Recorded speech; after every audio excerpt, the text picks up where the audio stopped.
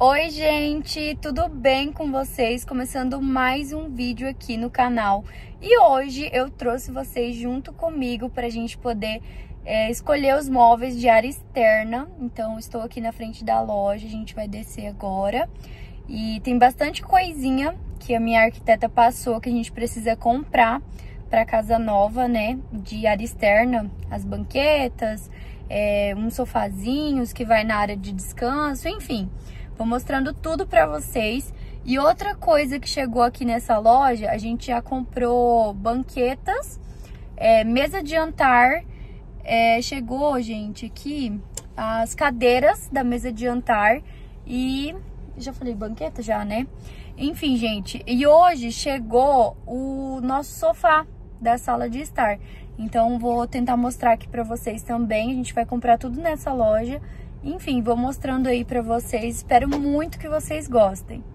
Estamos aqui na loja. O pessoal tá terminando de desembalar aqui o sofá. Mas basicamente ele é assim, ó. Escolhi nesse tecido que eu sou apaixonada, gente. Eu vi que tá super em alta esse estilo de sofá, enfim, de poltrona também, ó lá. Aqui na loja tem a pronta entrega, aquela poltrona e é desse mesmo material, né? Deixa eu passar aqui. Olha que lindo. É, é tipo as duas partes, né? Do sofá. Olha, perfeito, gente. É na hora que montar, vai ficar ainda mais bonito, né? A gente mandou fazer sob medida lá pra nossa sala e com o tecido que a gente queria também. E no estilo que a gente queria. Que era uma parte assim e outra assim, né? Pra gente poder deitar, ter mais espaço. Pedi pro pessoal montar aqui pra mostrar pra vocês, olha que lindo! A gente fica ainda mais ansioso pra mudar pra casa quando a gente vê assim, que nem a gente foi lá na obra agora, e eles encheram a piscina, enfim, pra ver se tá vazando, né? Fazendo o teste, então a gente fica mais ansioso ainda. Mas, então esse é o sofá que a gente escolheu. Lindíssimo. Agora a gente vai olhar os móveis de área externa, que a gente precisa comprar, né? Fazer o pedido, enfim. Ai, gente, eu tô apaixonada. Ele vai ficar perfeito. Mas tem que arrumar bem bonitinho, né? As, as almofadas, enfim. Vou mostrar pra vocês primeiramente aqui o projeto, ó. Aqui a, a minha arquiteta colocou uma TV na frente das pedras e um sofá. Só que a gente estava conversando aqui, a gente acha melhor colocar uma mesa de jantar, uma mesa aqui, né, pra gente poder é, receber os familiares, enfim. Porque no projeto aqui a gente só tem quatro banquetas aqui na ilha.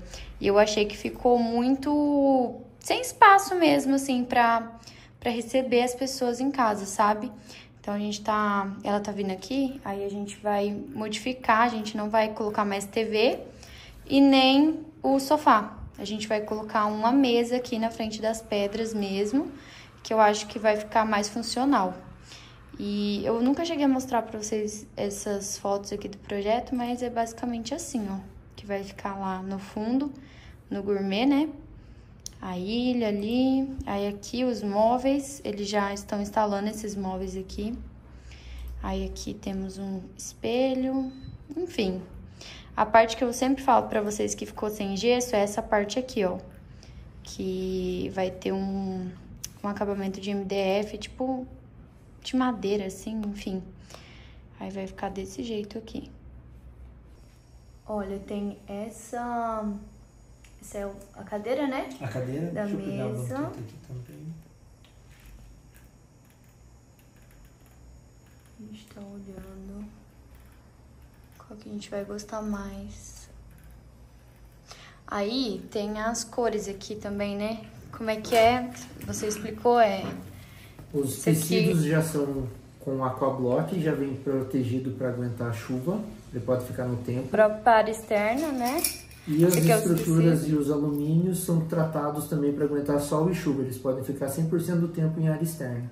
E esse aqui é o? Esse é o tricô náutico. É um outro acabamento também para acabamento de banqueta, de cadeira, hum, de sofá. Entendi. E tem a fita náutica também. Hum, legal, então tudo aqui é personalizável, sabe? Tudo você consegue deixar com a sua cara, com do com seu a gosto. cor que você quer, enfim. Legal. Hum, A, ca- a cadeira e a banqueta. Bem bonito. Fibra de PVC. E daí eu tenho dessa outra Que é- marca que eu já vou mostrar pra vocês, que daí já é corda mesmo. Essa aqui é a corda náutica que usam em navio pra... que eles usam no, no dia a dia deles. A gente acaba descobrindo tanta coisa, né? Nem imaginava que tinha tudo isso de coisa, né? Tipo, diferença de, Acabamento. de acabamento. Por que, que senão a gente não pega nessa cor aqui? Deixa eu ver. Laranja. assim? Não. Tô zoando. né? Tem que ser tudo branquinho, clean. Branco não, né? Mas tipo um tom mais clarinho. Isso, tipo assim. Bem clarinho. A pintura A é gente tá aqui escolhendo a base. E a base não é. Como é que chama? O tampo da mesa, então. E o tecido das cadeiras também. Vai ser esse, né? Tem a foto. Ah lá, ó. A banqueta que a gente escolheu. É aquela ali, aquele modelo. Eu vou mostrar ali na frente pra vocês. E as cadeiras da mesa também. Assim. Tem da mesa? Aí. Fotinho. Lá na frente a gente olhou o modelo e a gente gostou. É um modelo mais orgânico, né? Que chama. Olha que lindo. Então a gente escolheu esse modelo com talvez esse, né? Isso. Esse tom de madeira aqui, ó. A gente vai testar lá na obra, né? Pra ver qual que vai ficar mais bonito. Agora eu vou mostrar aqui pra vocês o projeto lá da área gourmet. Eu fiquei de mostrar pra vocês há muito tempo, não consegui mostrar. Aí agora que estamos em casa, eu já escolhi é, os móveis da área externa. Aí quando a gente definir certinho, né, eu mostro pra vocês quando chegar. Enfim, né, vocês vão ver. Agora eu vou mostrar pra vocês o projeto de como ficou a nossa área externa, né? O nosso gourmet. Enfim, gente, aqui, ó, é a primeira parte do projeto. É, aqui, onde estão essas plantas aqui com vaso, vão ser dois coqueiros. Então, a gente vai colocar um aqui, outro aqui do lado, pra ficar tipo uma sombra, assim, um espaço mais mais gostosinho, né, gente? Porque precisa de um verde, precisa de plantas, né, para trazer esse aconchego, enfim. Aí aqui, ó, que eu sempre falo para vocês que vai ser deck, vai ter iluminação embaixo. Aqui é aquele espaço onde vai ter grama. Aí a gente olhou também as espreguiçadeiras hoje, lá no, na loja que a gente tava, né? A gente olhou todos os móveis aqui do fundo. E como eu falei pra vocês, a gente mandou fazer também as banquetas lá da cozinha de dentro, né? E a mesa de jantar, o sofá que eu mostrei pra vocês aí no vídeo e também as cadeiras. E as cadeiras, o sofá e as banquetas já chegaram, como eu mostrei pra vocês lá, só consegui mostrar o sofá, né? Porque as cadeiras e as banquetas estão guardadas, enfim, eles deixaram pra gente guardadinho lá enquanto não terminar a reforma da casa. Enfim, gente, aí vai ser basicamente assim, né? Aqui essa parte. Aqui é a casa de máquinas, que eu sempre mostro pra vocês. Aqui é a porta da lavanderia. Aqui nessa parede vai ser assim, ó, amadeirado. Eu preciso até ir lá na casa e gravar atualizações para vocês, porque já mudou muita coisa. Eles já estão quase finalizando essa cascata aqui. Eu acho que eu não mostrei para vocês ainda. Aí, aqui nessa parede vai ser toda de madeira, tá vendo?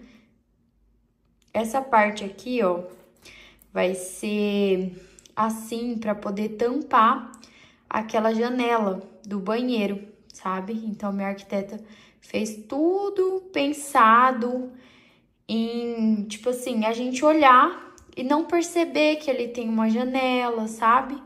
Para ficar bem mais clean visualmente. Aí aqui a parte da cascata é assim, né? Com o LEDzinho, as pedras aqui, que são as mesmas aqui da outra parede, que eu já vou mostrar pra vocês. É...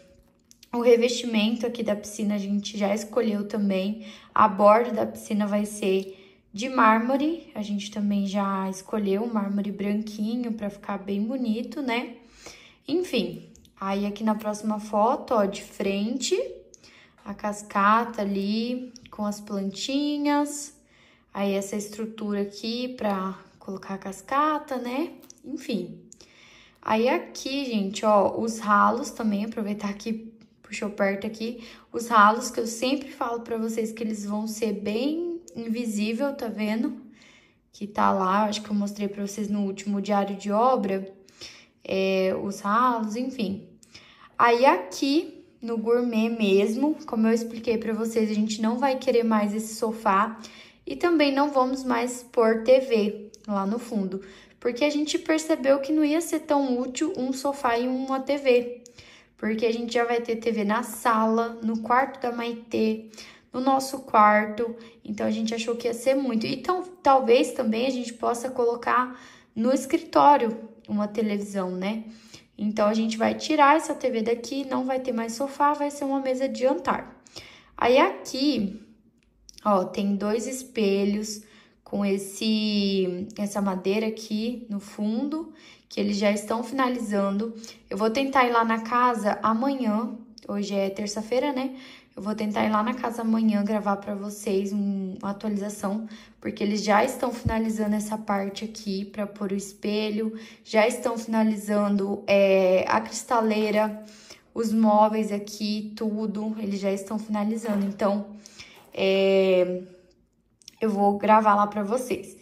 Outra dúvida que hoje eu postei atualizações lá no meu Instagram para vocês é sobre a churrasqueira.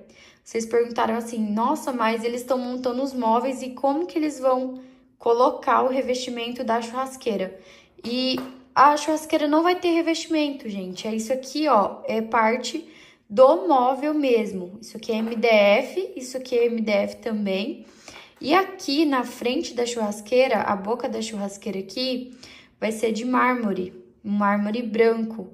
Então, a gente achou bem legal essa ideia, né? Porque ficou bem mais moderno, assim, do que ter revestido toda ela. Então, e tipo assim, eu achei bem mais bonito, gente. A minha arquiteta que planejou tudo aqui no fundo.